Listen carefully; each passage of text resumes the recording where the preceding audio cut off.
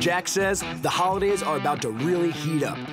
December 26th through the 30th, Jack is giving away a 2017 GM vehicle every night at Jack's Cincinnati Casino. Earn entries now through December 30th by using your Club Jack card at your favorite machine or table game. Drawings at 9 p.m. every night, December 26th through the 30th for a 2017 GM vehicle.